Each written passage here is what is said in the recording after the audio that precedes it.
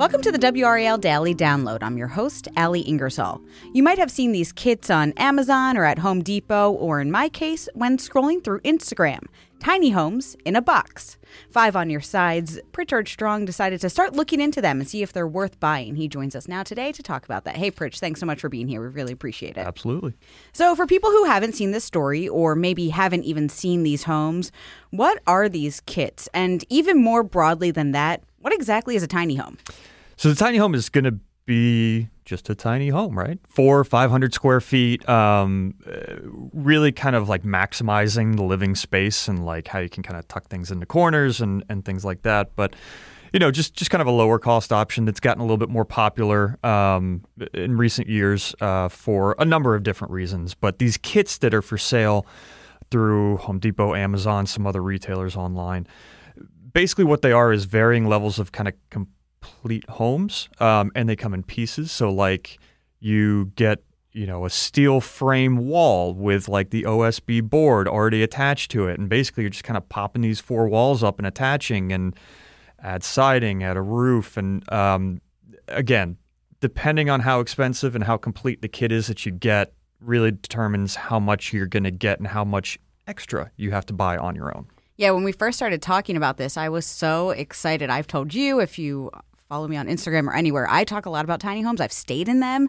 I think they're so interesting. But when we were talking about this, we were saying it seems like a good situation, but there could be a catch with these pop up tiny homes. Can you explain that? Yeah, that catch is kind of what we were just talking about, what's not included, right? So, you know, one of the ones that I was looking at is is from Home Depot. It's fifty four thousand dollars, and it, it's it's you know uh, basically a shell, right? It's it's everything to keep the inside weatherproofed. So you get you get doors, you get windows, you get you know the siding and the roof material, and obviously all the walls that hold that up. But beyond that, it's really on you to pick flooring, walls, fixtures, f- appliances, everything else that's going to go in there that you can you can really think of.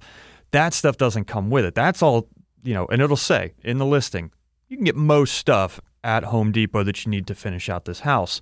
So, you know, that that was kind of one of the things that we were looking at. That $54,000 price tag is kind of attractive when you mm-hmm. look at it. And then you start looking at the, the details and, and what doesn't come with it.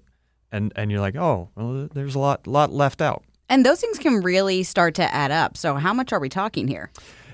It could be as much as two to three maybe more uh, times expensive is what that list price is. So you're talking wow. fifty four thousand for that shell. I mean, it could easily get up to one hundred fifty thousand if you're talking about all those fixtures and, and interior pieces, but also connecting to utilities, um, power, uh, water, sewer, and then having a, a proper foundation poured or built to put it on. Those are some of the most expensive things uh, when we were talking to experts that that just aren't included, and um, you you have to account for all that kind of stuff when you're you're going to a total cost. And a lot of times you don't think of of the other stuff that you're going to get as being more expensive than this fifty four thousand dollar shell that you're purchasing. But in in this case, it, it can be. Yeah, when I was looking into these, it was land that was seeming to be really expensive because you have to put this house somewhere. Mm-hmm. And exactly. so then you're still technically kind of renting from someone, but you have this home. Um, so when we're talking about these houses, are they actually more affordable then than a townhome or a condo, something that's turnkey but still smallish and good for one or two people? And that land is a big part of, of the answer to this question. And, and the answer is complicated because – there's so many factors like how much of this are you going to do on your own really? Like how much can you reasonably do? Um, it, are you building it on your own property? Are you renting it out? Are you do you have land where you just need to put like a i, I don't know a vacation home or, or something along those lines? There are so many variables. It can be cost effective to do one of these kits. You just need to be really technically inclined and handy and and you know know know the things that you need to know to to you know get this permitted and inspected and done the right way. Otherwise, you could run into to problems with that kind of stuff that could cost you even more money. Yeah, and go into it knowing that this is not going to be you pop up these walls and then you're living there that night. Right. Yeah. It's and, and that's not the final price tag, right? I mean, you, you could probably put it together pretty quick, like once you get it. Um, but you got to have the foundation, like to start, and you got to have all those those lines run for all the other utilities and stuff, and, and and just know going into that. There's a lot of planning and stuff that you need to know going into that um, if you're going to do one of these. And it isn't really marketed that way.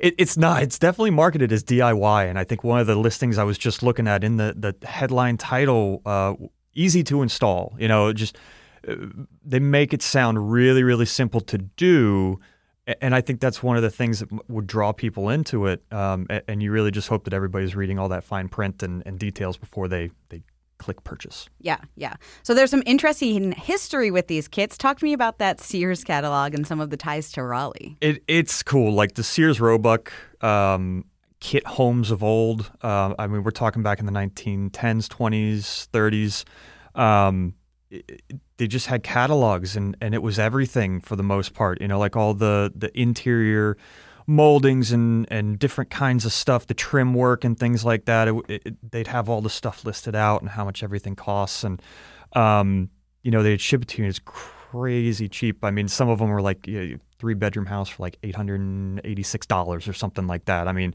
yeah, it, it's.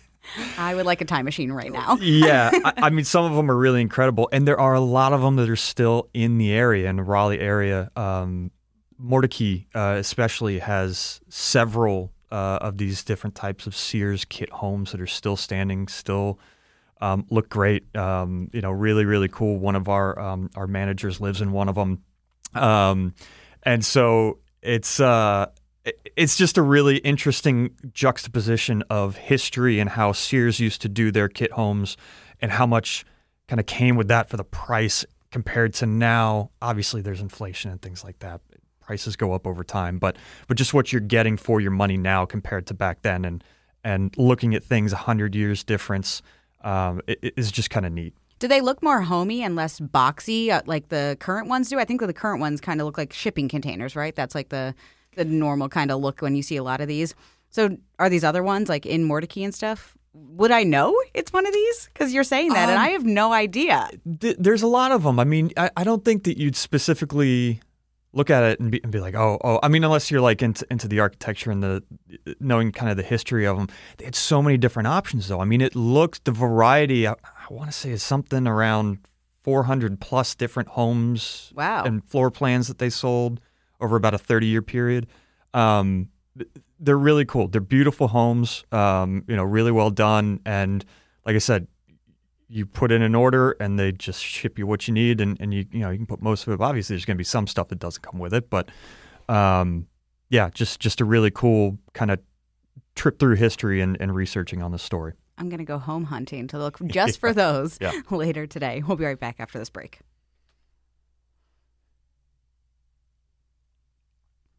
Welcome back. Pritch, you talked to a lot of people about this, many people who had these homes. Um, who are some of those people who you talked with, and what made them interested in living in tiny houses? So, actually, the people that we ran into were really doing this as, as rental properties. They, they had existing homes, full size homes that they were living in, um, and what they decided to do was to add um, secondary homes on their property that mm. could be used for rentals um, you know, for varying different reasons. But that that was really their motivation in doing it. It wasn't their primary residence, but you know, they they saw that they could do some good with those extra units, um, extra spaces to live, and and that was why they they decided to go the route that they did. And what has their experience been like? Did they use some of these pop up kits, or how do they kind of go about getting these built? So one of the women that we spoke with, who's having a tiny house built, she looked at them and and really found the same thing that we were kind of talking about that like that shell i mean it's it's got a good look to it to a lot of them i mean they're they're good looking homes um, but just found that there was a lot more that needed to be done and, and it wasn't for her because really it, and in talking to the builder too the framing part of it isn't where they they lose a lot of time and they just don't need that prefabricated frame to come in to, to really get things moving. It doesn't it, it's an extra cost. It doesn't save a lot of time. Mm-hmm. Um, so she avoided it. She ended up going stick built, which is just building the frame from scratch. Um, you know, two by fours and, and all that good stuff. So that was how they ended up going. Um, just kind of after researching and looking at all the options, and you know, that's their preference. Uh, it, if somebody's a little more, like I said, technically inclined to do it on their own, then then buying the kit may be for them. Did she find it to be cost effective?